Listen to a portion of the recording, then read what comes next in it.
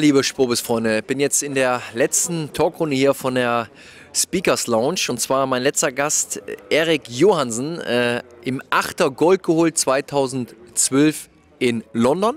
Vor zwei Jahren in Rio Silber gewonnen und äh, jetzt hier auf der Couch, äh, Thema Spobis, äh, haben wir auch uns hier einige Fragen ausgedacht für dich und äh, freuen uns auf den Talk mit dir. Ähm, fangen wir auch gleich mal an, Erik. Äh, wie schätzt du die Social-Media-Potenziale für Athleten in Deutschland ein, die nicht aus dem Fußball kommen? Natürlich mehr aus deiner Sportart oder Sportarten. Ja, für viele Athleten bei uns im olympischen Sportarten ist es natürlich nicht immer ganz einfach, ähm, ja, sich so professionell aufzustellen, besonders auf, aus finanzieller Sicht, dass man ja, sich zu 100 Prozent auf den Sport konzentrieren können. Viele von uns studieren nebenbei, müssen sich auf die berufliche Zukunft danach auch vorbereiten, weil wir halt nicht so viel Geld generieren können in unseren Sportarten. Aber Social Media bietet natürlich ganz besondere Möglichkeiten, sich auch regional, was dann ja auch eher für uns die, die abgezielte Reichweite dann auch ist in unseren Sportarten, in unseren Regionen, wo wir dann vielleicht ein bisschen bekannter sind, dann Social Media auch zu nutzen, um dann vielleicht auch den Mittelstand anzusprechen, um Konzepte auszuarbeiten und dann ja den richtigen Content zu erarbeiten, um dann auch die, die, ja, das gezielte Publikum auch anzusprechen und darüber dann auch den einen oder anderen Sponsor zu gewinnen. Dazu passt dann auch ganz gut die zweite Frage. Wie ist das Know-how von euch ähm, olympischen Sportlern und Athleten zum Thema Social Media allgemein? Werdet ihr von Verbänden, Vereinen zum Umgang und Möglichkeiten gebrieft oder unterstützt? Du hast es ja gerade schon angedeutet, ähm, dass es da natürlich weniger Ressourcen gibt, aber vielleicht dazu noch mal ein bisschen weiter.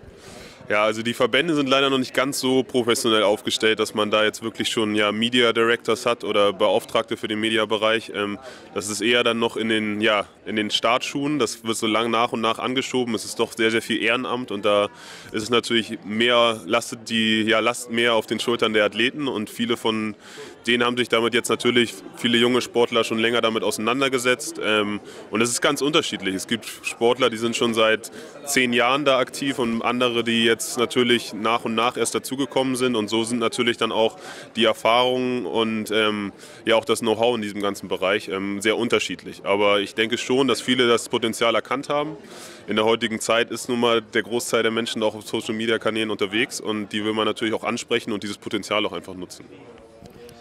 Auf diese Antwort habe ich auch so ein bisschen gehofft. Du weißt ein bisschen warum, weil mit Erik äh, haben wir uns natürlich auch schon vorher getroffen, kennen uns auch schon jetzt ein, ein paar Tage. Äh, Erik kennt äh, mein, mein, mein Produkt PickU, also meine App, die ich launche, Group Story Network. Ähm, deshalb auch zur letzten Frage, könntest du dir vorstellen, dass über die Apps wie PickU neue Potenziale für, für Athleten entstehen, gerade für Sportarten, ich sag mal, wie auch für mich, der prinzipiell interessiert ist, aber viel zu wenig Content eben bekommt oder wo habe ich Zugriff, gebündelten Content zu bekommen für eben solche, solche Sportarten, die ja mit, mit, mit prinzipiell sehr, sehr viel Content möglich sind äh, zu kommunizieren. Könnte da PQ eine, eine Unterstützung sein oder eine Plattform, die euch dazu sagen könnte als Sportler? Ja, total. Also ich, wir kennen uns jetzt ja schon ein bisschen und kennen auch deine App, die neue App, die jetzt ja gerade neu auf dem Markt ist. Ähm, und ich glaube, dass es eine ganz, ganz tolle Möglichkeit ist für olympische Sportarten. Die Emotionen stehen im Vordergrund. Es ist ein, kein kommerzieller Sport in erster Linie, sondern es spricht natürlich ex explizit auch sportbegeisterte Menschen an, die die Sportvielfalt lieben.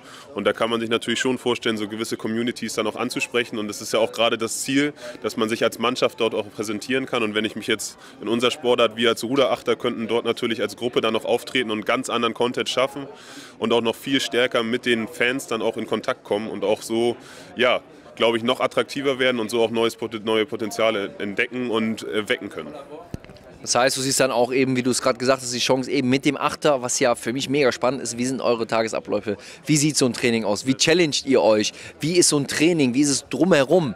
Ja, und ähm, das ist das, die Chance, die wir auf jeden Fall, wo ich dir jetzt schon sagen kann, wenn du diese Public Group machst mit deinem Achter, wo es dann auch Möglichkeiten gibt, eben äh, äh, einige Follower hoffentlich zu bekommen, äh, weil wir das ein bisschen pushen können und eventuell dann natürlich auch authentische Vermarktungsmöglichkeiten für euch Sportler, weil viele wissen ja, im Fußball, denen geht es sehr gut, aber es gibt andere Sportarten, die genau genauso viel und teilweise mehr abverlangen, wo alles gebraucht wird. Und ich glaube, da könnte ja die Plattform vielleicht äh, auch helfen, eben diesen Achter den Menschen nochmal näher zu bringen. Also sag Bescheid, wenn du bereit bist. Wir freuen uns auf jede äh, Public Group, die irgendwie einen coolen, authentischen, ehrlichen Inhalt macht. Und wir stehen auf jeden Fall bereit, Erik. Äh, bevor wir äh, jetzt schon die Runde beenden, äh, vielleicht nochmal für die Leute da draußen, für die Sportfans da draußen, wie ist dein aktueller Stand mit dem Training und worauf bereitest du dich gerade vor? Und äh, ja, wie, wie zufrieden bist du dann mit deinem, mit deinem aktuellen, ich sag mal, Trainingszustand und äh, wie sind deine Ziele für die nächsten Wochen, Monate und natürlich mit dem ganz großen Ziel?